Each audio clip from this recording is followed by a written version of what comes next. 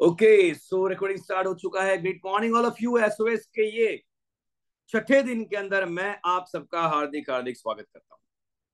और जैसा कि आप सभी को पता है कि हमने डे वन पे माइंडसेट लिया था। डे टू के अंदर हमने product user and list making dream का लिस्ट आ गया डाउट का लिस्ट आ गया कॉन्टेक्ट लिस्ट आ गया। वो हमने जाना था। उसके बाद हमने इन्विटेशन के फॉर्मूले के ऊपर बात करी और उसके बाद फाइनली इन्विटेशन करने के बाद आता है प्लान प्रेजेंटेशन हमने प्लान प्रेजेंटेशन करना सीखा। प्लान प्रेजेंटेशन के दौरान ध्यान में रखने वाले कुछ बातों को इंपॉर्टेंस हमने यहाँ पे ध्यान में रखा। और इंपॉर्टेंट बात यह है कि हमारे लिए प्लानर बनना कितना इंपॉर्टेंट है। ये हमने जाना, ये हमने समझा।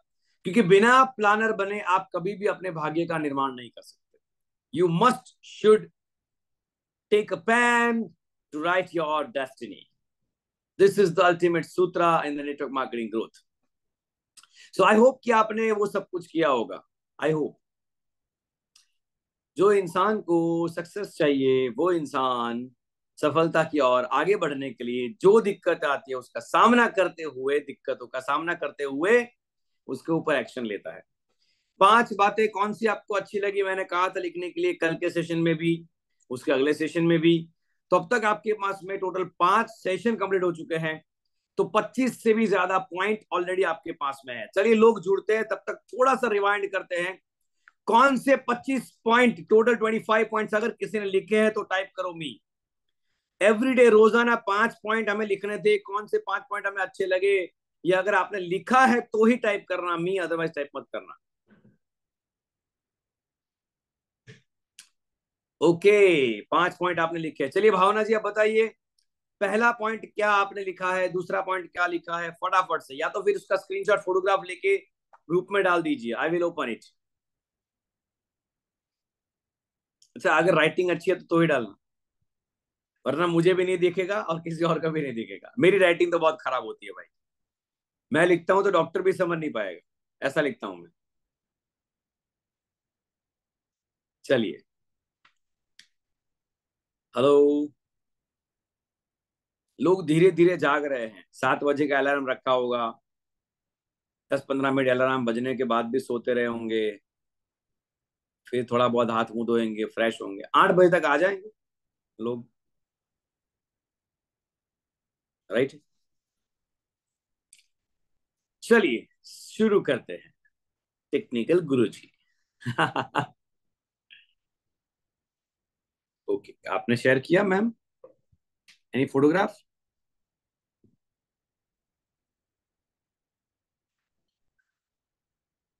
ओके, नहीं आया। चलिए, ठीक है, हम लोग शुरू कर देते डायरेक्टली नाउ हमने छठा कदम जाना था फॉलो अप और फॉलो अप में क्या होता है इंपॉर्टेंस कोई बताएगा? मैंने बोला था, याद हो तो। फॉलो अप में मैंने तीन चीज़ें बोली थी। अगर कोई बताया तो। क्या चीज़ें होनी चाहिए फॉलो अप में? कम ऑन एवरीवन क्या बोला था मैंने फॉलो अप में? फॉलो अप छठा नंबर का चैप्टर जब मैंने शुरू करवाया, तब मैंने कुछ बोला था। किसी को याद हो तो। टाइप करो टाइप करो, कॉल करना, ओके। और कुछ और कुछ और कुछ और कुछ। फॉलो अप कुल मिला के किस, इसके बारे में होता है? Motivation and closing. Motivation and closing, motivation and closing. और कुछ इसमें नहीं है फॉलो अप में।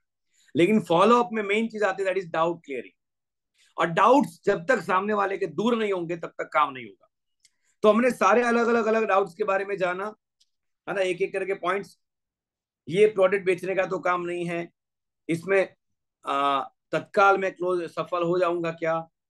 फिर हमने तीसरा जाना था उसके अंदर की कैसी कंपनी का चुनाव करें। ये सारे पॉइंट्स उसके आगे भी फॉलोअप के काफ़ी सारे पॉइंट्स इफ़ेक्ट ऑफ़ लाइफ हमने महँगाई के आधार पर उनका क्लोजिंग करने का कोशिश किया। उनको एक business versus traditional versus network marketing का एक गणित करवाया। ये सब अलग अलग मॉडल हैं। क्लोजिंग करने के। सब में से कोई भी एक दो मॉडल के ऊपर बात करेंगे, आप क्लोजिंग ऑटोमेटिकली ले लेंगे। जैसे कि हमें समय नहीं कमाना, हमें पैसा कमाना है, वो भी एक मॉडल है क्लोजिंग करने का राइट है ये सारे मॉडल है। चलिए, आज ऑब्जेक्शन के ऊपर जाते हैं। आज का हमारा टॉपिक जो है वहाँ पे हम अगर आते हैं तो पाँच कदम हमने जाने थे सही कंपनी का चुनाव करने के। कानूनी रूप से लीगल होना चाहिए कंपनी मैनेजमेंट का इरादा मज़बूत होना चाहिए ताकि वो लॉन्ग टर्म आपके साथ चले हंड्रेड परसेंट लीगल बेस पर कंपनी चलाने और चलाने वाले होने चाहिए। प्रोडक्ट की कैटेगरीज बहुत ज़्यादा होनी चाहिए और एक कैटेगरी के अंदर भी बहुत सारी प्रोडक्ट्स होनी चाहिए। उसके बाद हमने सेल्स और मार्केटिंग का प्लान के बारे में जाना। ऐसा होना चाहिए जिसमें लोगों को बेनिफिट्स मिले, लोग जल्द से जल्द इसमें सफलता को प्राप्त कर सके और स्टेबल सक्सेस प्राप्त कर सके। एंड फाइनली पांचवा नंबर था that is training and development वहाँ पे आपका एजुकेशन सिस्टम मज़बूत होना चाहिए। अगर वो नहीं है तो आपका ग्रोथ वहाँ पे नहीं होगा।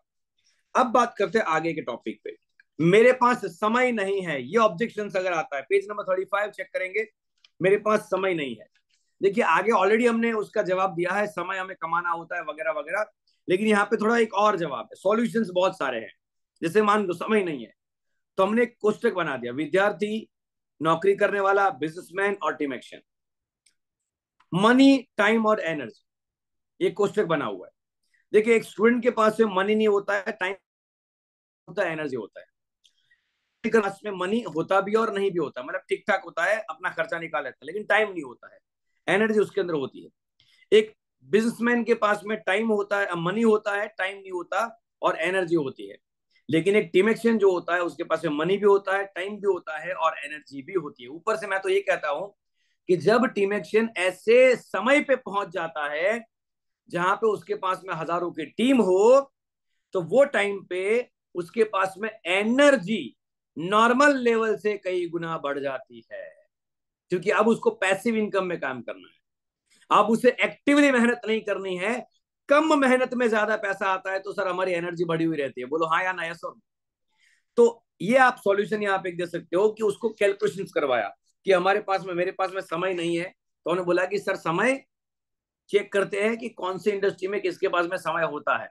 फिर समय होता नहीं है, निकालना पड़ता है। अगर एक आप अपनी ज़िंदगी में पैसा भी पाना चाहते हैं, समय भी पाना चाहते हैं और एनर्जी भी पाना चाहते हैं, इसके साथ में एक पॉइंट और जोड़ दू, दैट इज़ सिक्योरिटी। सिक्योरिटी, नौकरी वाले के पास सिक्योरिटी नहीं है। धंधे वाले के पास भी सिक्योरिटी नहीं है। कोई भी कॉम्पिटिटर आके उसको खत्म कर देगा कभी भी। राइट है? बट टीम एक्शन के पास में सिक्योरिटी है, अगर उसने एक बार अपना नेटवर्क बना दिया तो। तो ये सारे पॉइंट पे बात कर सकते हैं। सॉल्यूशन नंबर टू पूरे समय हम पढ़ाई तो नहीं करते सर। स्टूडेंट है तो। पूरे समय हम खेलते तो है नहीं। सर, पूरे समय हम खाना नहीं खाते हैं। सर, पूरे समय हम सोते नहीं हैं।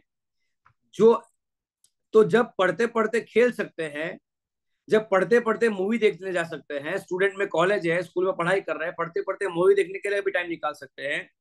पढ़ते पढ़ते पिकनिक के लिए भी टाइम निकाल सकते हैं। अरे गर्लफ्रेंड बॉयफ्रेंड के लिए भी टाइम निकाल सकते हैं। पढ़ते पढ़ते एक घंटा अपने भविष्य के बारे में टाइम नहीं निकाल सकते। राइट और अगर स्टूडेंट है तो उनको ऐसे हम लोग बात कर सकते हैं। समाधान थ्री सॉल्यूशन थ्री यहाँ पे उसी में। विद्यार्थी परीक्षा पढ़ाई के तीन महीने। हम लोग जनरली एग्ज़ाम के तीन महीने पहले पढ़ाई करते हैं। बाकी साल भर फ्री ही होते हैं, देखा जाए तो। स्टूडेंट्स की अगर बात करें तो। खाली समय में नौ महीने हमारे पास में है। और ये नौ महीने में अगर हमने रोज तीन से छह घंटे काम किया तो हम लोग आर्थिक रूप से स्वतंत्र हो सकते हैं। स्टूडेंट को हम ऐसा भी कह सकते हैं कि देखिए सर, हमारे साथ हमारे साथ आज हम पहले साल में कॉलेज के। तीसरे साल खत्म करके जो लोग बाहर निकले हैं या फिर निकलने वाले हैं, उनको पूछे कि कितने रुपए का सैलरी मिलेगा। आज हमारा पॉकेट मनी हमको मम्मी पापा देते हैं। हम चार से पाँच हज़ार रुपए पॉकेट मनी के रूप में खर्च कर लेते हैं। आसानी से। मिनिमम होता है महीने का चार, पाँच हज़ार, सात हज़ार का खर्चा। हाँ या ना, कॉलेज में बोलो ऐसा इतना होता है कि नहीं होता? राइट और रॉन्ग एक नॉर्मल खर्चा है, देखा जाए तो। लेकिन जब सैलरी लगती है ना तो शुरू में बारह पंद्रह हज़ार की सैलरी लगती है। और पूरा महीना जाना पड़ता है। पेट्रोल का खर्चा भी करना पड़ता है। तब ऐसा लगता है कि यार, इससे अच्छे दिन तो हमारे कॉलेज के हुआ करते थे।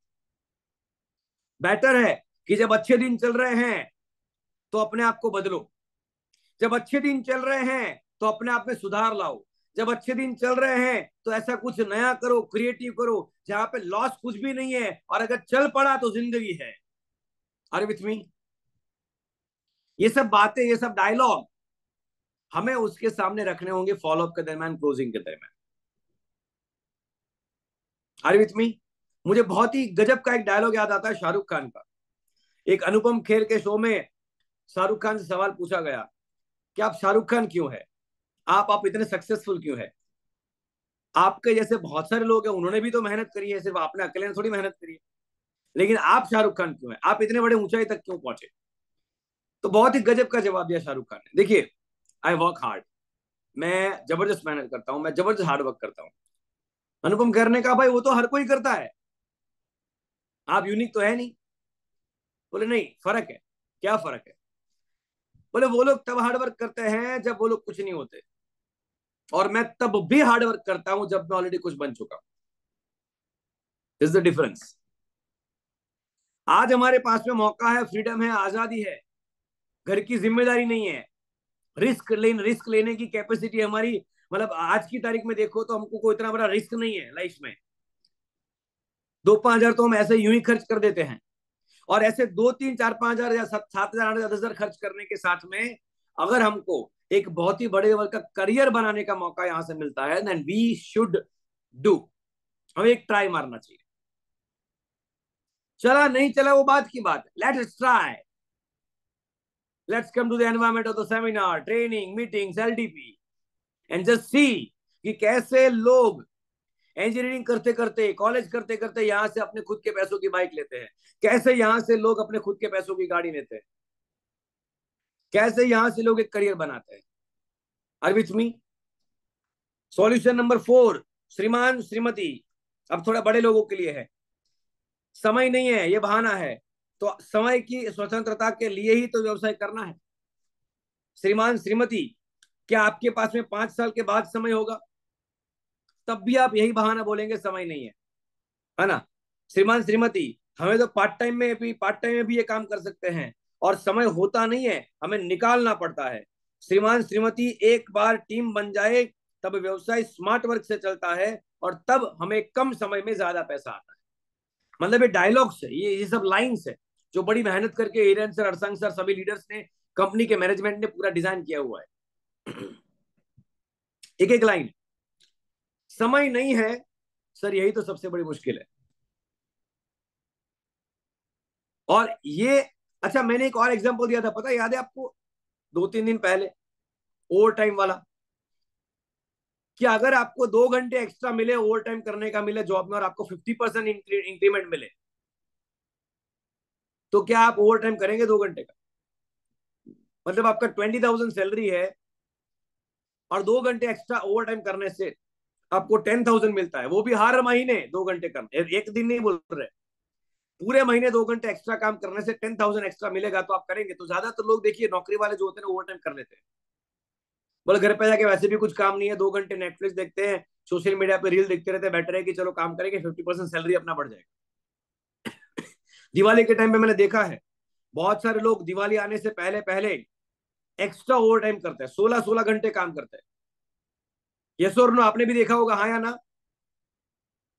किसको एक्स्ट्रा पैसा नहीं चाहिए सर सबको चाहिए। और इसके लिए हम लोग टाइम निकाल भी लेते हैं। लेकिन सर वहाँ पे आपकी लाइफ में एक प्रकार का लॉक है। आपने दो घंटे दिए, उसके हिसाब से इनकम मिलेगा। पाँच घंटे दिए, उसके हिसाब से इनकम मिलेगा। यहाँ पे आपके वो एक्स्ट्रा वाले दो घंटे जो आप यहाँ पे देंगे, अपना ओवर टाइम यहाँ पे देंगे। तो यहाँ पे स्काई इज़ द लिमिट यहाँ पे कोई लिमिट नहीं है। You can earn as much as you want और इसीलिए हमें नेटवर्क बनाना है। We have to build a network अगर हम नेटवर्क बनाएँगे तो हम समय कमाएँगे। हमारे लिए दस लोग काम करने वाले आ जाएँगे एक एक घंटे रोज भी काम करेंगे तो हमारे लिए दस घंटा रोज़ाना काम होगा। एंड दैट्स वाई हमें ये ओवर टाइम करके, दो घंटा करके समय निकालना पड़ता है, सर। समय होता नहीं है। Are with me Mukesh Ambani और बड़े बड़े लोगों जो होते हैं, इतने बड़े बिजनेसमैन होने के बावजूद भी एक घंटे की मीटिंग के लिए उनका समय निकाला जाता है अलग से एक्स्ट्रा इंपॉर्टेंट मीटिंग है तो। क्योंकि लाइफ में बिज़नेस करियर से ज़्यादा इंपॉर्टेंट और कोई चीज़ नहीं होती। सॉल्यूशन नंबर पाँच, यहाँ पे नाम हम लोग दे सकते हैं मयूर गोंडेला सर का। अगर आप कहते हैं कि समय नहीं तो मयूर गोंडेला सर को देखिए। उन्होंने बी केमिकल इंजीनियरिंग किया, फिर उन्होंने एमटेक फ़र्स्ट क्लास के साथ किया, उन्होंने तीन इंटरनेशनल पेपर पब्लिश पब्लिश किए। इसके साथ उन्होंने टिमेक्स किया। आज वो इस स्थान पर पहुँचे हैं, आज वो कामयाब है, इतने इतने काम और अंतरराष्ट्रीय ख्याति ख्याति पाने के बावजूद भी टिमेक्स के लिए टाइम मैनेज किया उन्होंने। इतनी डिग्री थी उनके पास, इतनी डिग्री वो पढ़ाई कर रहे थे, इतनी डिग्री उनके पास में है। समझो ऑलरेडी बीई उनका था एमटेक ऑलरेडी वो कर रहे थे एमके में पढ़ाई करते करते टीमेक्स करते करते एमटेक में उन्होंने फ़र्स्ट क्लास अचीव किया, समझ लो। ये एग्ज़ाम्पल हम दे सकते हैं मयूर सर का। आर विथ मी तो सर, हम तो बीकॉम बीएससी करते करते टाइम निकालने की बात कर क्या हम नहीं निकाल सकते? टाइम को अगर वो इतना बड़ा आदमी, व्यस्त आदमी अगर समय को मैनेज कर सकता है तो क्या आप और हम नहीं कर सकते? आज उन्होंने पैसे तो कमाए ही कमाए हैं टीम एक्स में, लेकिन सबसे बड़ा उन्होंने उसके साथ में समय भी कमाया है। और यहाँ पे अगेन हम उदाहरण देंगे वो वाला जो मैंने आपको बताया था विजन मीटिंग वाला, कि दस हज़ार के लिए आठ से दस घंटा काम करते हैं तो बीस हज़ार के लिए हमें सोलह से बीस घंटा काम करना पड़ेगा और चालीस हज़ार कमाना है तो हमें बत्तीस से चालीस घंटा काम करने का जो पॉसिबल नहीं है, क्योंकि इंसान के पास चौबीस घंटे होते हैं। तो let's do its money multiplication solution number छह पाइपलाइन की कहानी। है ना? पाइपलाइन की कहानी किसी को याद है क्या? रामू और श्यामू की कहानी में हमेशा बोलता हूँ इवेंट्स में। सर, एक गजब की किताब है। इंटरनेशनल बुक है, सर। पैरेबल ऑफ़ पाइपलाइन देखिए, ये ये माहौल बनाना पड़ता है किताब का भी। कहानी जिस किताब से बोल रहे हैं, अगर वो किताब बहुत बड़े फ़ेमस लेवल पर पहुँच चुकी है ना you can get the reference also और वो रेफरेंस से आपको ताकत मिलती है। सर, एक गजब की किताब दुनिया में आई है। बहुत सालों पहले आई थी, आज भी वो मार्केट में हिट किताब मानी जाती है। किताब का नाम है पैराबोला ऑफ़ पाइपलाइन और ये किताब में दो इंसान की कहानी लिखी गई है। मैं अपने इंडियन नाम के हिसाब से आपको रामू और श्यामू की कहानी बताऊँगा। उस किताब में लिखा गया है कि एक बार रामू और श्यामू दोनों भाई, दोनों दोस्त एक गाँव में पानी की बाल्टी बेचने का काम करते थे। क्योंकि वो गाँव में पानी भरने के लिए ऊँची पहाड़ी के ऊपर के तालाब में जाना पड़ता था तो ये दोनों भाइयों ने क्या किया? ये दोनों बाल्टी लेकर जाते, ऊपर से पानी भर के नीचे आते और पानी की बाल्टी पचास पैसे में एक बेचते थे। और दोनों भाई का करियर सेट था, दोनों दोस्त का करियर सेट था। लेकिन एक बार रामू शहर गया, शहर जाने के बाद उसने देखा, समझा, अपनी विवेक बुद्धि का इस्तेमाल किया तो पता चला, अरे भाई, शहर में तो नवे नए नए आविष्कार हो चुके हैं, एक एक पाइपलाइन बन चुकी है मार्केट में। एक पाइपलाइन के साथ एक मोटर लगा सकते हैं। और अगर इसको हमने तालाब में लगा दिया, तालाब से नीचे देख एक पाइपलाइन लगा दी तो पाइपलाइन के ज़रिए पानी आएगा, नल खोलेंगे तो पानी तुरंत भर जाएगा। ये तो गजब का टेक्नोलॉजी है भाई। रामू वापिस आया अपने गाँव और श्यामू को बताया, श्यामू, गजब का आइडिया लेकर आया हूँ। ज़िंदगी बदल जाएगी अपनी भाई। ज़िंदगी बदल जाएगी। ऐसी चीज़ लेकर आया हूँ कि हमें यह भागा दौड़ी नहीं करनी पड़ेगी। हम कब तक ये ऊपर जाएँगे, पानी की बाल्टी भर के आएँगे। हमारे घुटने एक दिन काम करना बंद कर देंगे। हमारा शरीर साथ देना छोड़ देगा। इससे बेटर है कि आज हम लोग एक पाइपलाइन बना दे। मैं शहर से ये चीज़ समझ कर आया हूँ। श्यामू ने बोला, नहीं नहीं नहीं नहीं, ऐसा कुछ चीज़ नहीं होता है। पागलपंती मत कर। रोज का अपना जो धंधा चल रहा है वही करो। श्यामू ने उसकी बात को एक्सेप्ट नहीं किया। लेकिन रामू जानता था कि इसका पावर क्या इसकी ताकत क्या है। तो रामू क्या करता? रोज वो पानी की बाल्टी तो भरता, क्योंकि उससे पैसे कमा, कमाए जाते हैं, उसके रोज़ाना इनकम है वो। पेट भरने का मेन काम है। लेकिन ओवर टाइम एक्स्ट्रा टाइम वो दो घंटे काम करता पाइपलाइन बनाने के लिए। धीरे धीरे करते करते करते करते छह महीने, आठ महीने लग गए। पूरे पहाड़ के ऊपर से नीचे तक पाइपलाइन को प्रॉपर तरीके से सेटअप लगा दिया।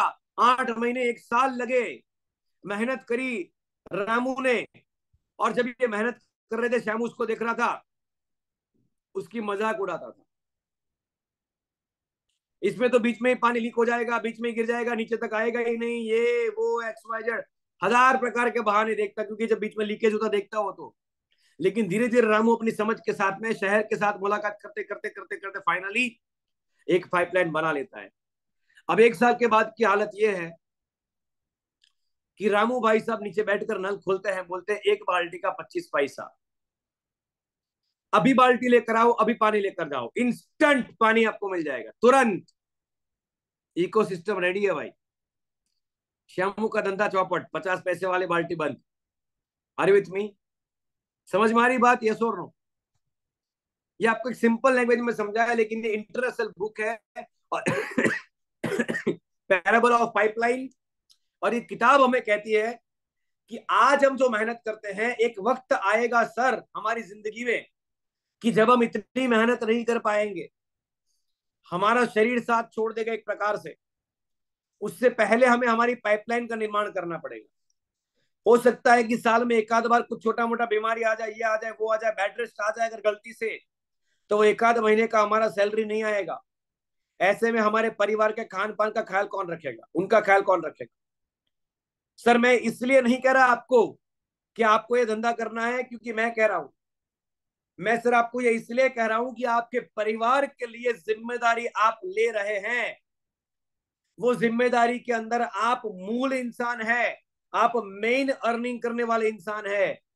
ईश्वर कभी ना करे आपको ऐसा हो, लेकिन अगर गलती से कभी भी बेड रेस्ट पे आप चले गए तो उस टाइम पे फैमिली का कौन?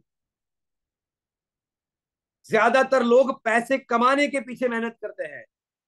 सर हमें पैसा नहीं कमाना होता है, हमें समय कमाना होता है, और समय कमाया जाता है एक सिस्टम से, और मैं आपको वो सिस्टम देने के लिए आया हूँ। अरे विथ मी तो ऐसी कहानी के दर, कहानी के एग्ज़ाम्पल से भी आप उसका माइंडसेट बना सकते हैं समय को लेके। अरे विथ मी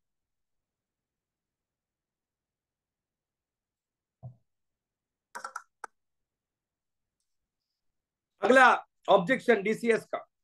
मैं सोच कर जवाब दूँगा, मुझे सोचना पड़ेगा। ये ये कितने लोगों को मिला है? मैं सोच कर जवाब दूँगा। बड़ा सोच विचार करता हूँ, मैं 500 करोड़ का डील है, मालूम है, सर? छोटी मोटी डील तो मैं कभी करता ही नहीं। आई एम जस्ट जोकिंग मतलब सोच कर बताऊँगा, ये बहाना तो लोग ऐसे मारते जैसे सौ करोड़ का प्लान सोचने वाले हो। राइट है वैसे आप लोगों को पता ही है, अब की बार, अब की बार एलडीपी वाले कहाँ गए? अब की बार, सौ करोड़ पार। अब की बार अपने को तो सौ करोड़ पार करना ही है। राइट नाउ श्रीमान श्रीमती सोचने सोचने में पूरी ज़िंदगी निकल जाती है। क्योंकि समय किसी का इंतज़ार नहीं करता। हमारे हिसाब से किसी भी चीज़ का निर्णय लेने के लिए इन दो पहलुओं पर विचार करना चाहिए। पहले, ये चीज़ करने से खराब क्या होगा? हमारी ज़िंदगी में अगर हमने ये चीज़ कर ली तो बुरे से बुरा हमारे साथ क्या होगा? और दूसरा, खराब से खराब कुछ नहीं होगा, क्योंकि जितने पैसे देते हैं, उतने उससे बहुत ज़्यादा अधिक मूल्य वाली प्रोडक्ट्स और सेवाएँ हमको मिल जाती है। और दूसरा दूसरा पहलू, कि हमारे साथ अच्छे से अच्छा क्या हो सकता है ये धंधे में? सर, देखिए, सोचने में क्या होता है, सर? क्या सोचेंगे हम सोच सोच के भी? ये धंधा करना या नहीं करना, दो ही चीज़ें हैं। तो सर, मान लो अगर कर लिया तो दो संभावनाएँ हैं। एक कर लिया और हमारे साथ बुरा हो गया भाई। तो बुरे से बुरा क्या होगा बताइए? आपने पैसा दिया प्रोडक्ट मिला, काम खत्म। बुरे से बुरा क्या होगा? आपका धंधा नहीं चलेगा, उतना ही ना। और लोग चार दिन के बाद भूल जाएँगे कि आपने ऐसा कुछ शुरू किया था। काम खत्म। यही होता है मार्केट में, बोलो हाँ या ना। मान लो किसी ने शुरू किया, चार पाँच दिन, एक आध महीना प्रैक्टिस किया एमएलएम करने का कोशिश किया, और अगर उससे नहीं भी हुआ, गलती से अगर नहीं हुआ, मान लो उसके, उससे। तो क्या होगा यार? उसने जो चार पाँच दस लोगों से बात किया होगा। वो लोग ज़िंदगी भर तक उसको ताना थोड़ी मारने बैठेंगे। अरे लोग भूल जाते हैं आज के टाइम में बहुत जल्दी। चार पाँच दस दिनों महीने भर के अंदर काम खत्म। ये नॉर्मल टेंडेंसी है मार्केट की। और अगर कर लिया और हो गया सर मैं हमेशा कहता हूँ यार कि ट्राई मारने में जाता क्या है? ट्राई मारने में जाता ऊपर वाला भी सोचेगा, तेरे को ज़िंदगी में इतना ट्राई दिया। चल कभी ना कभी तो ट्राई मारता तू। ट्राई मारने में तेरा क्या जाता था? ऊपर भी बजाएगा तेरी वो, बराबर की। देगा बराबर का वो भी। लाठी तेरे को, धड़ाधड़ करके। बोले, इतना मौका दिया, इतना मौका दिया, इतना मौका दिया ट्राई तो कम से कम कर ले, वो कहानी नहीं है। बोले, एक बार मंदिर के पुजारी सोच रहे थे बाढ़ आई तो बोले, मेरे को भगवान बचाने के लिए आएँगे। तो मंदिर के द्वारे पे एक बंदा आया, बोले, बाढ़ आइए महाराज जी, चलिए हमारे साथ। और गाँव में, गाँव के बाहर जाने का रास्ता हो चुका है, पूरा रेडी है व्हीकल व्हीकल सब रेडी है। फटाफट से भागते वरना एक आध घंटे में बाढ़ आने वाली है। बोले, नहीं, मेरे को भगवान बचाने के लिए आएँगे। अब बाढ़ आ गई, पानी आ गया मंदिर तक। तो भाई साहब चढ़ गए मंदिर के छत के ऊपर। छत के ऊपर चढ़ने के बाद एक नाव आई। बोले, आ जाओ पंडित जी, बचा लेते हैं। बोले, नहीं, भगवान बचाने आएँगे। धीरे धीरे पानी छत के ऊपर आने लगा। उनके पैरों तक पानी आने लगा। हेलीकॉप्टर आया, बोले, आ जाओ पंडित जी, बचा लेते हैं। बोले, नहीं, भगवान बचाने के लिए आएँगे। डूब गया बेचारा। ऊपर गया, यमराज के द्वार पे जाके बोले, पहला कंप्लेन शुरू किया, बचाने क्यों नहीं आए? अरे, आला, बचाने तो आया था। पहली बार मंदिर में जब पानी नहीं आया, तब बचाने आया। दूसरी बार छत पे जब पानी आया, तब बचाने आया। भाई, वो बोट लेके, नाव लेके, तीसरी बार हेलीकॉप्टर लेके आया। कौन से स्वरूप में, कैसे भगवान आ जाते, किसको पता यार? मतलब मौका कैसे स्वरूप में आ जाते किसी को नहीं पता है। हम सोचने बैठ जाते हैं, मौका आज से चला जाता है। राइट सिंपल है। तो उनको इस तरीके से एग्ज़ाम्पल दो। उनको बताओ कि हमें बुरे से बुरा क्या होगा, अच्छे से अच्छा क्या होगा। है ना? तो एक कहानी है कॉमेडी वाला। बोले कॉलेज में के दिनों में हर बार सोचते हैं। लड़की को देखते, लड़की को देखते एक इंसान लड़के को देखने जाता है। सोचना दो साल के बाद, है ना? लड़की को देखने के लिए जाता है, सोचता रहता है, इससे शादी करूँ कि नहीं करूँ? कुंडली तो मिलती है मेरी, ये होता है, वो होता है, लेकिन थोड़ा सोचना पड़ेगा, थोड़ा सोचना पड़ेगा, थोड़ा सोचना पड़ेगा। चार साल के बाद वो जब उस शहर से, उस गली से निकलता है, जहाँ पे वो लड़की देखने के लिए गया था तो दो तीन लड़के, एक दो एक दो लड़का बाहर खेल रहे थे। चार पाँच साल के बाद जब गया तब वो लड़की बाहर निकली तो इसकी नज़र पड़ी। बोले, इसको तो मैं देखने के लिए आया था, पाँच साल पहले। मैं तो अभी भी लड़की ढूंढ रहा हूँ, सोच रहा हूँ किससे शादी करूँ। इसने तो शादी भी कर ली। लड़की बाहर निकल के लड़का खेल रहा था, उसको बोला, देखो, मामा आए। है ना, कहानी हम कई बार बोलते हैं। है ना, आपने सुना होगा। यार सोचने सोचने के अंदर मामा बन जाते कई बार हम लोग। तो मेक श्योर एक्शन ले लो। सोचना नहीं है। ये तो मज़ाक वाली बात है, ये कॉलेज के लड़कों के साथ कर सकते हैं। सबके साथ नहीं कर सकते। लेकिन एक सिम, सिंपल से जन्नत फ़िल्म का एक डायलॉग है। जो सोचता है वो सोचता ही रह जाता है। सोचना बंद कर काम करना शुरू कर? छठा नंबर मेरी टीम नहीं बनी तो लाइन आगे नहीं चली तो। अरे भाई ना एग्ज़ाम्पल बोलते हैं हम कई बार। मरने वाले को भी चार मिल जाते हैं तो ज़िंदा को दो नहीं मिलेंगे क्या? राइट है सिंपल है। देखिए सर अपने बिज़नेस प्लान का फॉर्मेट इतना ज़बरदस्त है कि यह प्रश्न कभी खड़ा ही नहीं हो कि मेरी लाइन चली नहीं तो। आज महँगाई इतनी बढ़ रही है कि आजकल लोग पैसे कमाने के लिए नए नए मौके ढूंढ रहे हैं। श्रीमान श्रीमती मेरे पास मारे आ, मरे हुए इंसान को भी अगर चार लोग मिल जाते हैं तो ज़िंदा को दो लोग क्यों नहीं मिलेंगे? जो मैंने बोला वही डायलॉग है यहाँ पे भी। सॉल्यूशन एक बंद घड़ी भी दिन में दो बार समय सही दिखाती है। ये एग्ज़ाम्पल है। जब किसी ने बोला मेरे पास आ, जब किसी ने बोला कि मेरी टीम आगे नहीं चली तो? सर, एक बंद घड़ी भी दिन में दो बार समय दिखाती है, सही समय दिखाती है। मरे इंसान को भी दो से दो लोग मिल जाते हैं, चार लोग मिल जाते हैं, है? ना तो हमें एक करोड़ में से नहीं मिलेंगे। आज एक घर में हेल्थ का प्रॉब्लम है तो हेल्थ प्रोडक्ट्स की, आज हर एक घर में हेल्थ का प्रॉब्लम है तो हेल्थ प्रोडक्ट्स की हर एक घर में ज़रूरत है। आज personal care home care products की घर घर में ज़रूरत है, उसमें भी नेचुरल प्रोडक्ट केयर की प्रोडक्ट्स की लोगों को ज़रूरत है। तो ऐसे आप यहाँ पे सॉल्यूशन दिए गए, वो सॉल्यूशन मार सकते देखिए, पूरे इंडस्ट्री में जितने से जितने बेहतरीन से बेहतरीन लेवल के सॉल्यूशन हो सकते हैं, वो सारे सॉल्यूशन किताब में दिए गए। सारे सॉल्यूशन हमें सारे नहीं मारने हैं। लेकिन एक दो, अगर इसकी पढ़ाई करेंगे, छह नंबर के चैप्टर में एक, दो, तीन, चार, पाँच छ और टीम नहीं बनेगी, आगे नहीं चढ़ेगा, चलेगा लाइन इसमें अपने को सात, आठ आठ सॉल्यूशन दिए गए, आठ एग्ज़ाम्पल दिए गए। सिर्फ़ एक टॉपिक पे टीम आगे नहीं बढ़ी तो। क्या इसको पढ़ाई करके हम तैयारी नहीं कर सकते? तीसरा वाला है, अगर आपकी और मेरी लड़की, मेरी लड़ाई हो जाए, मैंने आपको दस घूसे लगाए तो आप वापस कितने मारेंगे?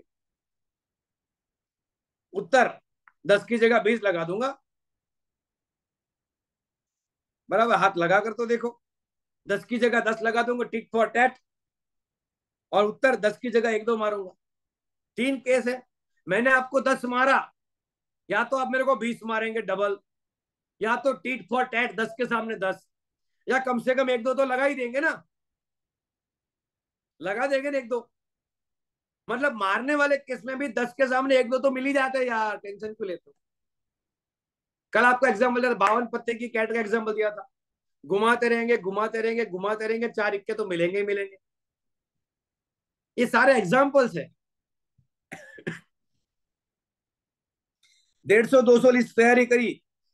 आपके घर पे लिस्ट अतिथि का list friends phone book celebration hard time city wise state wise अलग अलग लिस्ट बन सकता है। उसमें से कम से कम दस परसेंट लोगों ने भी हाँ बोल दिया तो भी हमारा दस परसेंट, दस बीस परसेंट का टीम बन जाएगा। एक संभावना उसको दिखाई जाती है। संभावना कि सौ लोगों का भी अगर आपने लिस्ट बनाया तो कम से कम दस लोग तो जुड़ जाएँगे। इट इज़ प्रोबेबिलिटी पॉसिबिलिटी ये सब सॉल्यूशन है. राइट है प्रॉब्लम नंबर हम लोग आगे जाते हैं.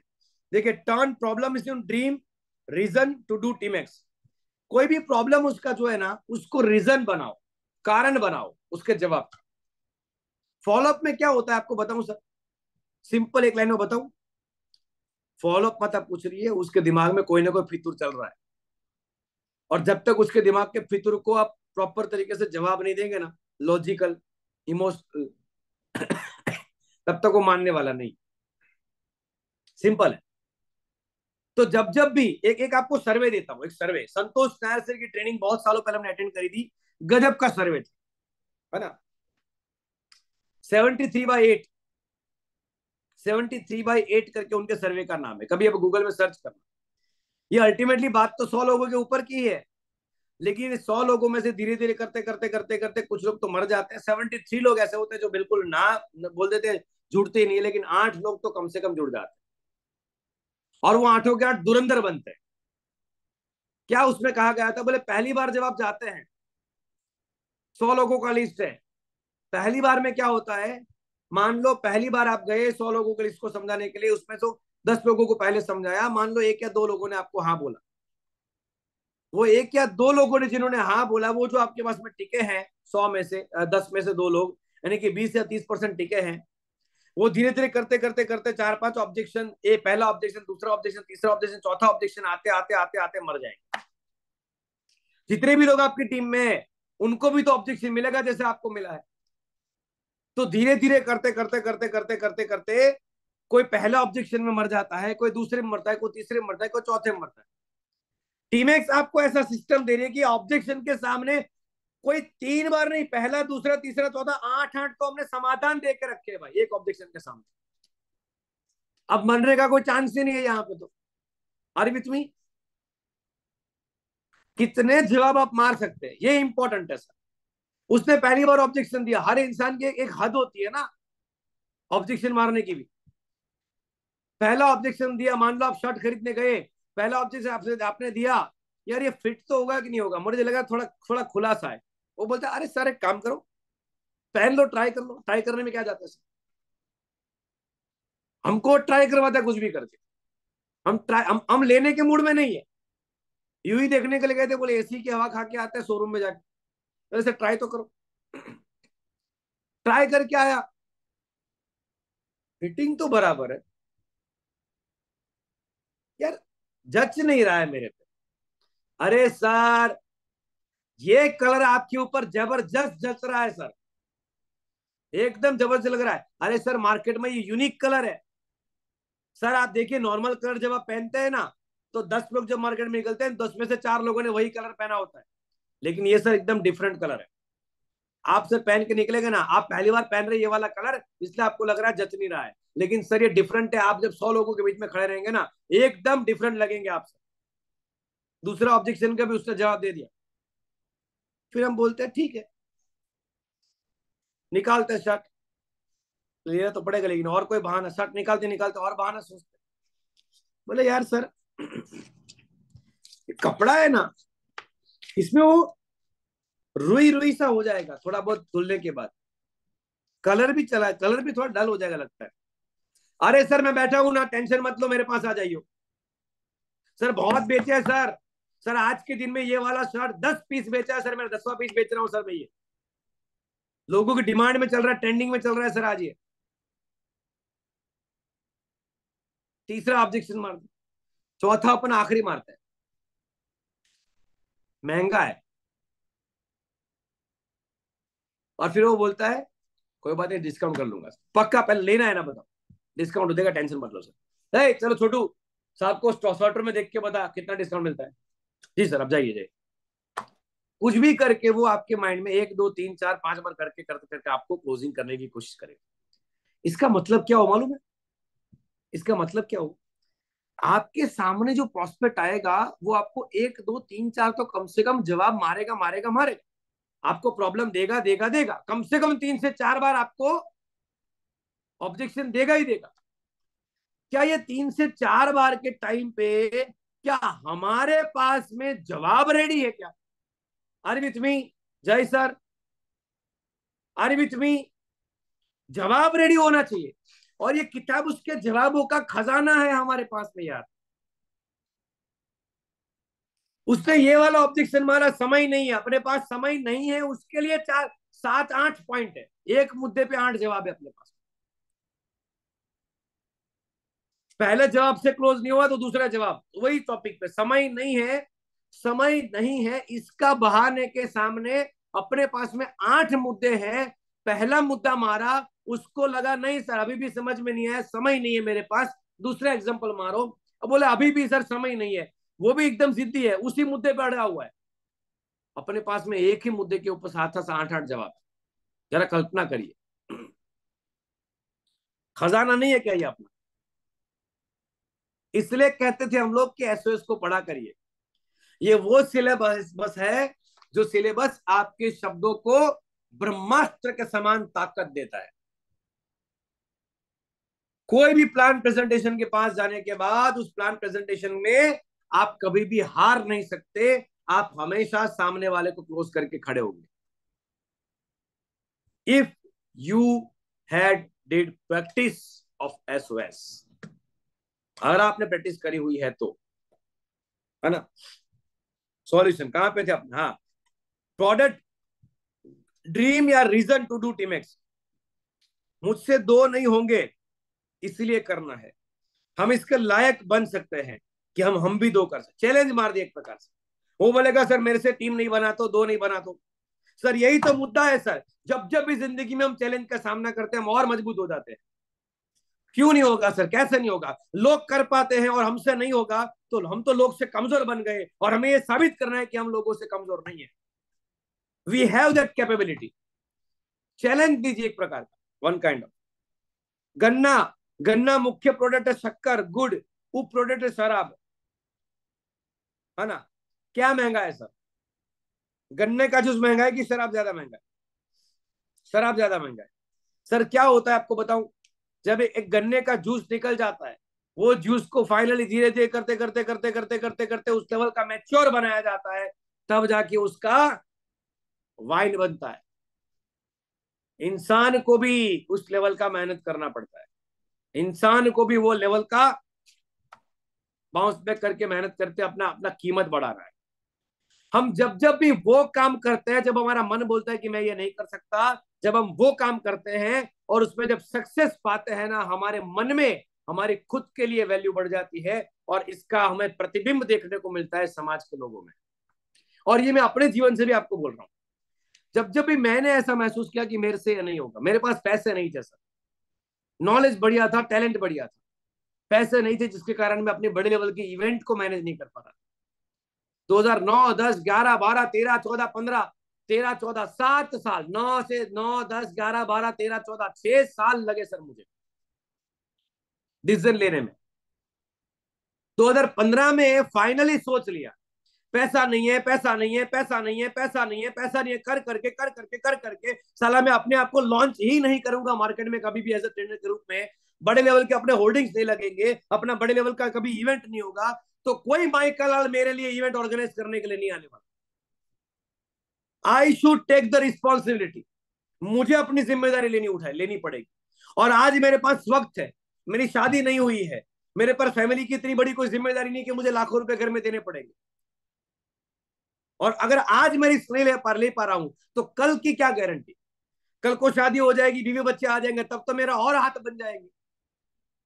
और ये बात सच्ची है। फैमिली बन जाता है ना बाद में, लोगों के हाथ बंध जाते एक प्रकार से। रिस्क टेकिंग एटीट्यूड कम हो जाता है दोस्तों। हाँ या ना यस और नो बताओ। क्योंकि जिम्मेदारियाँ आ जाती है। तो यंग एज में रिस्क नहीं लेंगे तो कब रिस्क लेंगे?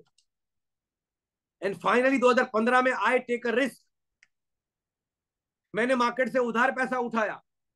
पैसा नहीं था बोल के मैं अपने आप को डिले करता था, मैंने उधार पैसा उठाया। आज उसका परिणाम क्या निकला? सर 2015 में 12-12 फीट के होर्डिंग्स लगा के बड़े बड़े लेवल के इवेंट्स करना स्टार्ट किए ना, मेरे इवेंट्स के माध्यम से मेरा ब्रांडिंग बढ़ने लगा, लोगों को मेरा नॉलेज पता चलने लगा, लोगों को मेरा फॉलो मेरे फॉलोअर बढ़ने लगे, मेरी इवेंट्स में स्ट्रेंथ बढ़ने लगी।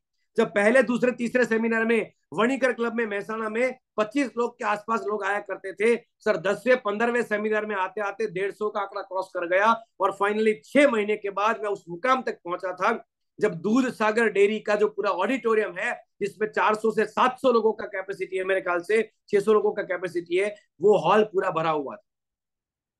एक साल के अंदर अंदर मैं उस लेवल पर पहुँच गया जहाँ पे महसाणा का सबसे बड़ा हॉल आसो पालव बैंकवेट जो शादी ब्याह में हज़ार लोगों का फ़ंक्शन होता है ना, उसके लिए इस्तेमाल होता है। वहाँ पे हज़ार से ज़्यादा लोग, बारह सौ लोगों के बीच में मेरा मनी सिगरेट का प्रोग्राम हो रहा था। I did it it is only because I took risk मैंने रिस्क लिया। अगर मैं बैठा रहता तो मैं अपने आप को उस लेवल तक कभी नहीं पहुँचा पाता। तो कई बार ऐसा भी मोटिवेशन देकर भी आप अपने दोस्त को कॉलेज बॉय को अपने फ्रेंड्स को मोटिवेट कर सकते हैं। कि हम आज अगर रिस्क नहीं लेंगे तो क्या होगा? अरे रिस्क है तो इसके हम कहते तो हैं। मूवी देखने के बाद। आजकल शेयर मार्केट में लोग रिस्क लेते हैं। लेकिन जीवन में रिस्क लेना है असली जगह पे, जहाँ पे लेना है, वहाँ पे रिस्क नहीं लेना और विथ मी इसके ऊपर माइंडसेट बन सकते हैं। कितने लोगों को लग रहा है कि ये काम करेगा? रिस्क वाला फैक्टर चैलेंज वाला फैक्टर ट्राई करो दोस्तों को। उसके बाद टीमेस के टीमेस के प्रोडक्ट्स के बारे में बता दिया, थोड़ा बहुत ऐसे करते करते हमने बोला, व्यक्तित्व vision confidence and truthfulness honesty passion हमारी कंपनी के प्रोडक्ट्स बहुत ही दमदार है। सब कुछ बढ़िया है तो लोग खरीदेंगे और खरीदेंगे तो हमारा धीरे धीरे टीम बनता जाएगा। राइट है? ऐसे बहुत सारे पॉइंट्स है, आप पढ़िएगा एक एक करके।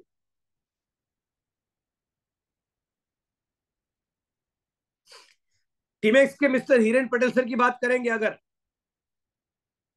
एग्ज़ाम्पल यहाँ पे दिया सॉल्यूशन दिया एक प्रकार से। सर मैं आपको बताना चाहता हूँ, मिस्टर हिरेन पटेल सर जो टीमेक्स के टॉप लीडर है, उस टाइम पे टॉप लीडर हुआ करते थे सर है ना? बाद में कंपनी के सीईओ बने एक प्रकार से। लेकिन सर को ऐसा हम लोग लीडर प्रमोट करते थे। तो यहाँ पे लिखा है कि मिस्टर हिरेन पटेल सर की बात करें, उनके रिश्तेदार कॉलेज करने वाले स्कूल के फ्रेंड्स पड़ोसी, सभी प्रकार के लोगों ने उनको मना कर दिया था। फिर भी उन्होंने एक ठान लिया कि मैं करके रहूँगा, करके दिखाऊँगा। और आज वो काम करते करते वो अपना तीन लाख से भी ज़्यादा लोगों का ग्रुप बना चुके हैं। आज मर्सिडीज के अचीवर बन चुके हैं। अगर उन्होंने गिव अप कर दिया होता, उन्होंने अगर ये सोचा होता कि मेरे से दो नहीं जुड़ेंगे तो क्या होगा? दशरथ माजी ने 20 साल में पहाड़ खोद दिया।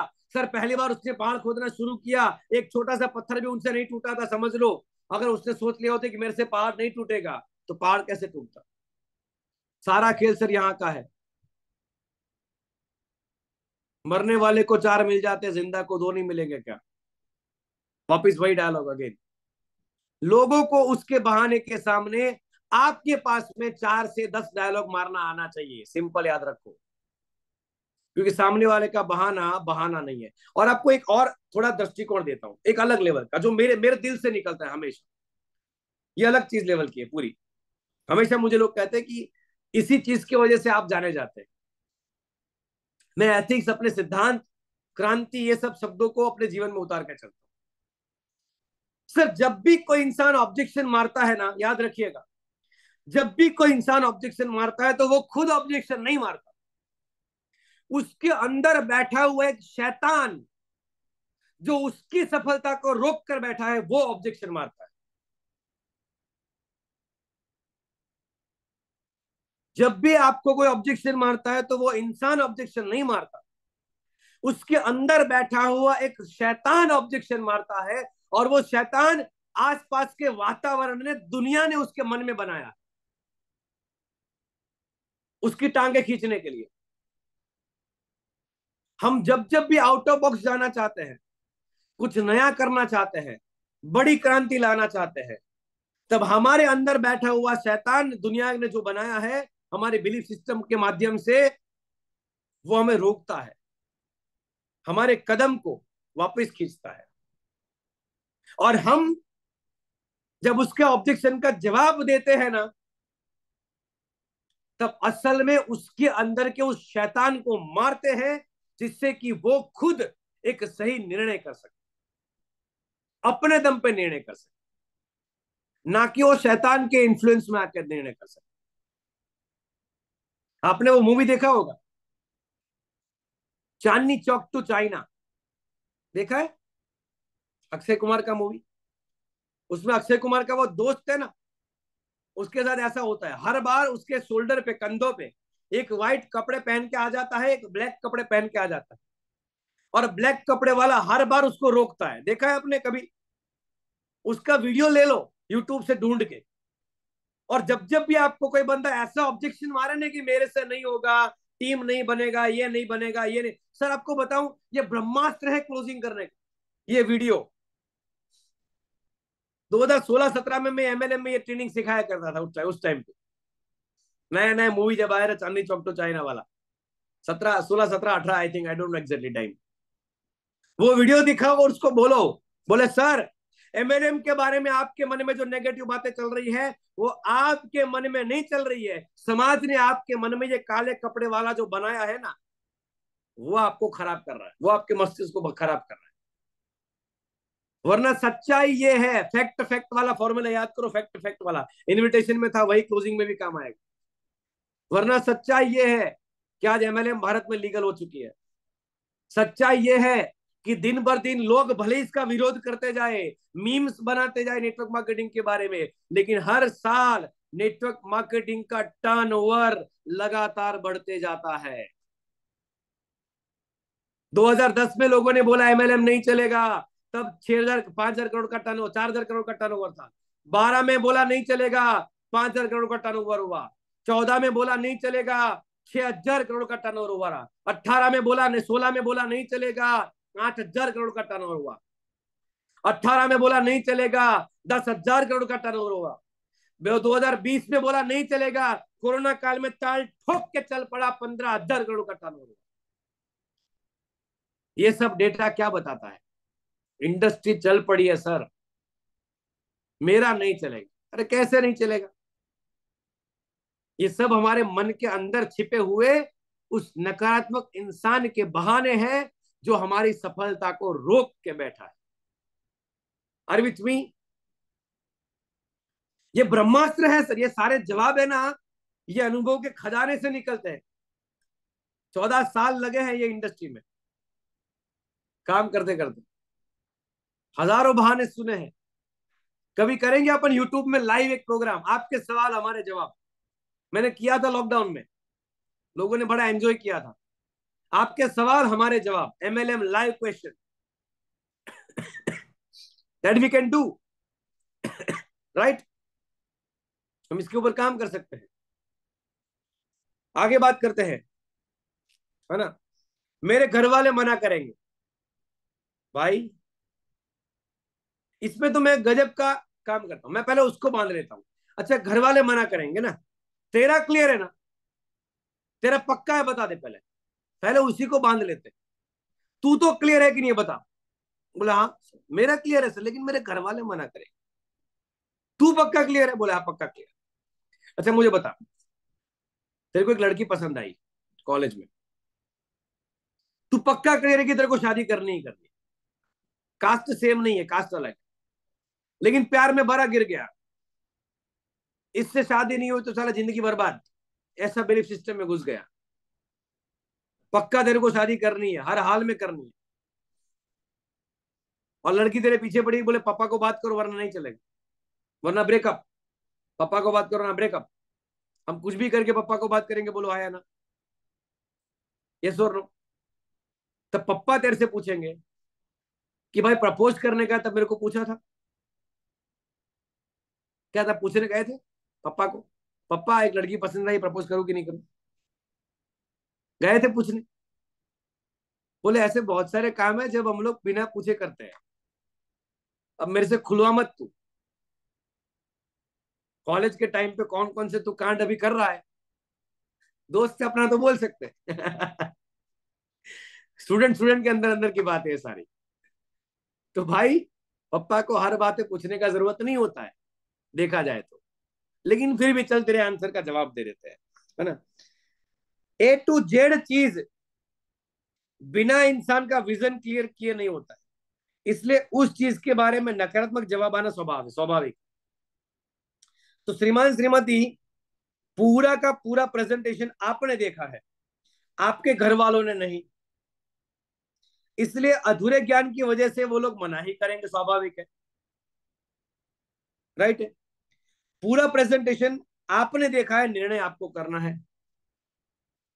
सच बताना, अपनी ज़िंदगी के सारी चीज़ें घर वालों को पूछ के ही करते हो।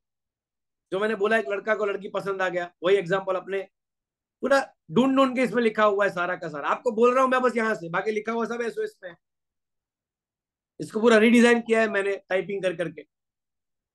अभी नया वाला किताब हाथ में कितने लोगों को आ चुका है? नया वाला बुक एसओएस नया वाला बुक कितने लोगों के हाथ में न्यू वाला।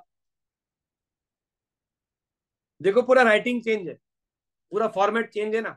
एकदम बुक वाला फॉर्मेट लगता है कि नहीं लगता? तो हिरेन सर, निर्मल सर ने मेरे को स्पेशली कहा, बोले, आपकी राइटिंग अच्छी है तो अलग से कुछ करो इसके ऊपर। मैंने बोला कंटेंट इतना बढ़िया है कि मुझे इसमें कुछ और डालने का ज़रूरत ही नहीं है। आप सभी लोगों ने मिलकर एसओएस के ऊपर इतना बढ़िया काम किया है कि इसमें और कोई दो चार लाइन मैंने चेंज किया होगा बस, बाकी कुछ ज़्यादा चेंज नहीं किया है मैंने इसमें। लेकिन टाइप किया है फिर से पूरा तो कॉन्सेप्ट पता है एग्जैक्टली तो उसी तरह आपको पता है कि प्रेजेंटेशन आपने देखा है है ना? आपके सामने दो दूध के प्याले रखे गए हो। आपके ही सामने एक जहर का प्याला जहर डाला जाए एक में और दूसरे में चीनी डाली जाए, जो आपको घर वाले को पता नहीं है और उसके बाद कोई घर वाला आपको जहर वाला प्याला पिलाने का कोशिश करे तो आप पियोगे? बताओ। आपको पता है, आपको पता है कि दो दूध के ग्लास है, एक में जहर डाला, एक में नहीं डाला। आपको पता है। आपके घर वालों को नहीं पता है कि किसमें जहर है, किसमें चीनी है। लेकिन अगर आपके घर वाले ने जहर वाला ग्लास उठा लिया और आपको ऑफ़र किया, आप पियेंगे? नहीं, क्योंकि आपको पता है किसमें जहर है। हाँ या ना? अब इसे, इसके समझाना, इसमें से समझाना क्या है मैं आपको बताऊँ। सर, देखिए, आपको पता है कि आप जिस कॉलेज में पढ़ रहे हैं या फिर जो भी पढ़ाई लिखाई करते हैं, उसमें आने वाले टाइम में कैसा करियर है? कितनी कॉम्पिटिशन है? कितने लोग लाइन में लगते हैं? That you know very well ये मार्केट का चैलेंज आपको ज़्यादा पता है, आपके माँ बाप को ज़्यादा पता नहीं हाँ। या ना? ये और नो तो कॉलेज के साथ कौन सा कोर्स करना चाहिए? कौन सा एक्स्ट्रा कुछ काम करना चाहिए? ये डिसीज़न कौन लेना चाहिए? आप लेने चाहिए। आप निर्णय किस आधार पे करेंगे? बोले, इससे मेरा करियर बनेगा। इससे मेरा आगे का पढ़ाई लिखाई के बाद का कोर्स में ये कोर्स काम में आएगा तो और अच्छी जगह पे नौकरी मिलेगी। और हकीकत ये है कि निर्णय आप ही करते हैं, बस आप एक प्रकार से कंफर्म करना चाहते हैं कि पप्पा और मम्मी से पूछ लो। बाकी कुछ होता नहीं, निर्णय तो आप ही करते हैं हमेशा के लिए राइट तो ये निर्णय जो आप अभी कर रहे हैं, आपको पता है कि मार्केट में बीकॉम करने वाले इंजीनियरिंग करने वाले लाखों लोग हैं, लाखों लोग लाइन में खड़े रहते हैं, सबको नौकरी नहीं मिलता। आप जाने अनजाने में जहर का ग्लास पी रहे हैं। और हम आपको चीनी वाला ग्लास दे रहे दूध का। एक बार ट्राई तो करो। जस्ट डू इट मेरा एग्ज़ाम्पल अलग रहेगा, सबका एग्ज़ाम्पल अलग रहेगा। इसी में से आपको आपको आपको अपलाइन सिखाएगी तो उसका एग्ज़ाम्पल अलग रहेगा। मैं हमेशा बोलता हूँ कि इंजीनियरिंग करके, पढ़ाई करके करियर नहीं बन सकता है उतना लेवल का। उस लेवल का करियर ये नेटवर्क मार्केटिंग बिज़नेस से कॉलेज करते करते बन सकता है। अगर आपने सही कंपनी को चुना, सही निर्णय किया तो अदरवाइज़ नहीं। और इसकी जानकारी उसको देना, ये हमारा काम ये तो चेन का सिस्टम है। अच्छा चेन बिज़नेस है, चेन सर ये चेन वाला बिज़नेस है, चेन वाला धंधा है।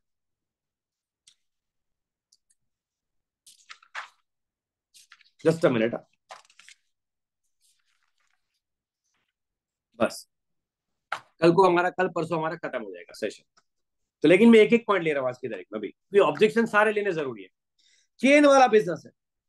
यहाँ पे लिखा है कि श्रीमान श्रीमती पूरी दुनिया चेन के ऊपर काम करती है। स्कूल के अंदर प्रिंसिपल, टीचर, क्लार्क, विद्यार्थी एक चेन का सिस्टम का हिस्सा। है मार्केट के अंदर जाएँगे, प्रोडक्ट बनाने से लेके, मैन्युफैक्चरिंग से लेके ग्राहक तक पहुँचने में भी इसमें भी एक चेन का सिस्टम काम करता है।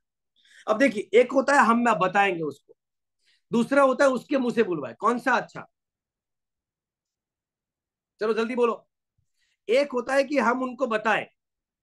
वो जो सवाल मार रहा है, हरीश भाई उसके सामने एक है, हम उसको जवाब दे और हमको, हम उसको बताएँ।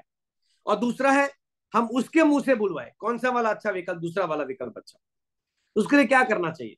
हमारे पास भी सवालों का खजाना होना चाहिए। कैसे? जैसे इसने बोला कि चेन सिस्टम है। उसको बोला, उसको हमें पूछना है, क्या आपने कभी बालाजी वेफर खाई? हरेश जी, आपने बालाजी वेफर खाई? हाँ या ना? बताओ। हाँ खाई। अच्छा कहाँ से लेकर आए? दुकान से। अच्छा दुकान में कहाँ से आई? एजेंसी वाला दे गया। एजेंसी वाले के पास कहाँ से आई? डिस्ट्रिक्ट का जो हेड होगा, डिस्ट्रिक्ट एजेंट, डिस्ट्रिक्ट का एजेंसी जिसने लिया होगा, उसके पास आई।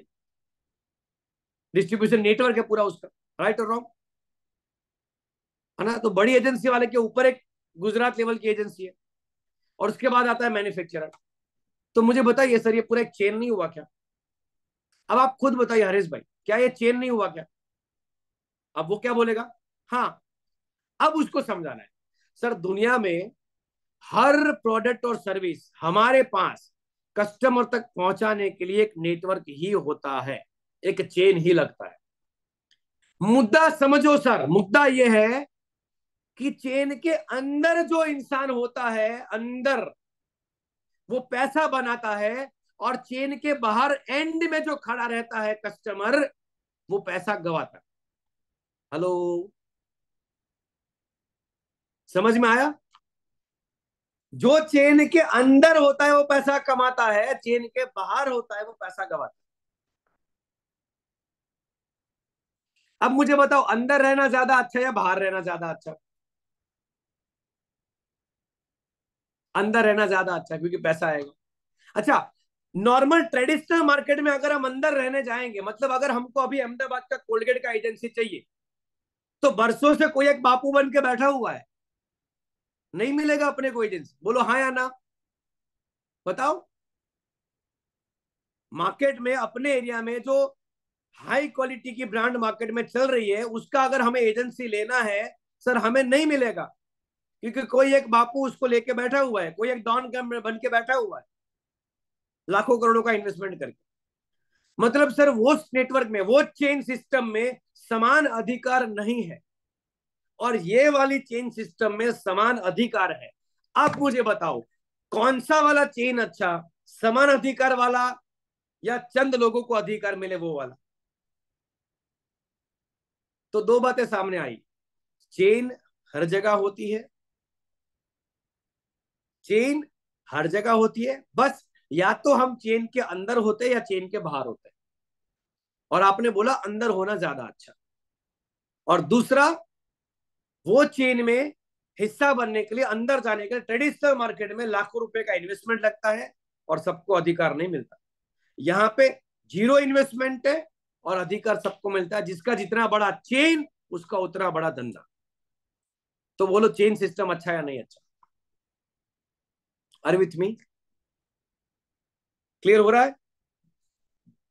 कंपनी के एमडी से लेकर वर्कर तक पूरा चेन होता है। अरे सर आप और मैं अभी खड़े हैं, उसके पीछे भी हमारे बाप दादा का चेन है। दादा के चार, वो चार के दो दो, उसके दो दो, हम है भी तो चेन के कारण भाई। अच्छा एक और बात। लड़के लड़की का रिश्ता देखने जाते हैं। तो इस्तेमाल भी हम हमारे चेन का ही करते हैं। बोले, तुम्हारे ध्यान में कोई लड़की हो तो बताइयो। अच्छा लड़का है हमारे पास में। शादी करने के लिए भी चेन चाहिए। बिना नेटवर्क के तो वो भी नहीं होगा अपने पास में। अरे भी तुम्हें समझ में आ रहा है? वो जो बोल रहा है ना, उसको जस्टिफाई करो। उसको क्लियर करो। ये ट्रेनिंग तो बहुत लंबा है एसओएस तो मैं एक एक पॉइंट लेके आपको जा रहा हूँ, बस दो मिनट लेके अपने सेशन को एंड करेंगे। तो चेन वाला एग्ज़ाम्पल क्लियर हो गया। मुझे इंटरेस्ट नहीं है। है ना? मुझे इंटरेस्ट नहीं है। इस, ये बहाना कितने लोगों को मिला? मुझे इंटरेस्ट नहीं है। कुछ और और हो तो बताना इसमें मुझे इंटरेस्ट नहीं है।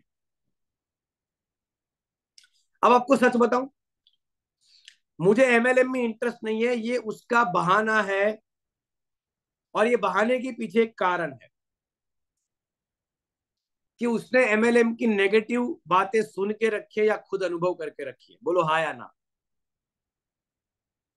वरना मुझे बताओ, क्या पैसे कमाने में उसको इंटरेस्ट नहीं है? क्या गोवा ट्रिप एंजॉय करने में उसको इंटरेस्ट नहीं है? क्या शिमला, मनाली, थाईलैंड जाने में उसको इंटरेस्ट नहीं है? क्या लोग उसको मान सम्मान दे उसमें उसको इंटरेस्ट नहीं है? है कि नहीं बताओ? सर हमें किसमें इंटरेस्ट नहीं है सर? आ, सर आप क्लियर हमें किसमें इंटरेस्ट नहीं है? यहाँ पे क्या लिखा है? दिलचस्पी नहीं है इसलिए तो करना है। जीवन में काफ़ी सारी बातें ऐसी होती है जिसमें हमें दिलचस्पी नहीं होती है उसके बावजूद भी हमें करना होता है। और आपको बताऊँ सर देखो हमें किताब पढ़ना अच्छा नहीं लगता लेकिन किताब पढ़ने से करियर बनता है। हमें सुबह एक्सरसाइज करना अच्छा नहीं लगता लेकिन एक्सरसाइज करने से हेल्थ बनती है। दुनिया में ऐसे बहुत सारे काम है जो हमें अच्छा नहीं लगता। सक्सेसफुल और अनसक्सेसफुल लोगों के बीच का वो डायलॉग है ना संतोष नायर का, वो मार देने का, चिपका देने का। सक्सेसफुल और अनसक्सेसफुल लोगों के बीच का सबसे बड़ा फ़र्क ये होता है कि सक्सेसफुल लोगों ने वो करने की आदत डाली जो अनसक्सेसफुल लोगों को अच्छा नहीं लगता था। सुबह उठना अच्छा नहीं लगता तो सक्सेसफुल लोगों को भी अच्छा नहीं लगता था। लेकिन सक्सेसफुल लोगों ने उठ उठ के, उठ उठ के, उठ उठ के सुबह उठने की आदत डाली। हमें जो अच्छा नहीं लगता है, वो हम जब बार बार बार बार बार बार बार बार करते हैं तो वो हमें अच्छा लगने लगता है, क्योंकि उससे हमारा ज़िंदगी बनता है, करियर बनता है। और मैंने अभी अभी जो आपको चार बातें बताई, सर, एक सबसे पहले तो क्लियर करिए, सर, हमें किसमें इंटरेस्ट नहीं है, सर? क्या हमें पैसे कमाने में इंटरेस्ट नहीं है? क्या हमें अपने पैसिव इनकम कमाने में इंटरेस्ट नहीं है? क्या हमें गोवा, मनाली शिमला घूमने में इंटरेस्ट नहीं है? क्या हमें रोज़गार में करियर में सेट होने में इंटरेस्ट नहीं है? सर आप ये बताइए, ये क्लियर करिए कि आपको इस बिज़नेस में इंटरेस्ट क्यों नहीं है? क्योंकि ये बिज़नेस से हमें वो सब कुछ मिल सकता है जो मैंने अभी आपको बताया। हमें ये धंधे से पैसा मिल सकता है। हमें ये धंधे से मान सम्मान मिल सकता है। हमें ये धंधे से गोवा, शिमला, मनाली, थाईलैंड की ट्रिप मिल सकती है। और ये सब में तो हमें इंटरेस्ट है। तो क्या वो बात है आपके मन में जो हमें निर्णय करने से रोकते? खुल के बताइए सर आपके मन में से। क्या रीजन है जो आपको ये निर्णय करने से रोकता है? खुल के बताइए सर। इसके ऊपर हम लोग कल डिटेल में बात करेंगे। कल इसके ऊपर पूरा ऑब्जेक्शन के ऊपर जाएँगे। कि कैसे उनके मन की बातों को निकलवाए। एमएलएम के बारे में उसके माइंड में जो नेगेटिव है उसको निकलवा रहा है बारह में। और ये हम लोग कल सीखेंगे। लेकिन आज जितने भी ऑब्जेक्शन हमने जाने हैं, सीखे हैं आई होप कि आप तक गहराई से मैंने जवाब पहुँचाया है। कितने लोगों को आज के जवाब और सॉल्यूशन जो हमने दिए, जो एसओएस के माध्यम से आपको दिए, वो एक परफेक्ट लेवल के सॉल्यूशन लगे। कुछ मैंने आपका, आपको आउट ऑफ़ बॉक्स जाके अपने जीवन के अनुभव के निचोड़ से एग्जाम्पल्स दिए। राइट है? सो आई होप कि आप उसकी तैयारी करेंगे। एक बात याद रखिएगा, सामने वाले के एक ऑब्जेक्शन के सामने अगर आपके पास में पाँच जवाब है तो ये धंधे में आपको जीतने से कोई नहीं रोक सकता। और यही इस धंधे की चाबी है। और सबसे बड़ी क्रांति जो मैंने आपको बताई, सामने वाला ऑब्जेक्शन दे ही नहीं रहा है, उसके मन का वो ब्लैक इंसान जो उसके मन में समाज ने बनाया है, वो जवाब दे रहा है। और हमें उसको सही निर्णय करने के लिए, काबिल बनाने के लिए उसको जवाब देने हैं। ये हमारी क्रांति है। कल इस क्रांति को और आगे बढ़ाएँगे। नमस्कार thank you very much Jai Hind all of Namaskar. Thank you very much. Jai